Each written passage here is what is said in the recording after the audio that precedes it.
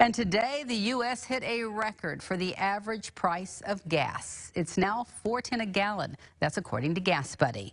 We found gas prices in southern Vigo County around 4.09 a gallon. A spokesperson for AAA East Central says the Russian invasion of Ukraine is the primary cause, but she says a previous supply chain shortage, continued supply chain issues, just supply shortages, and delivery driver shortages are also factors. Knox County officials are looking at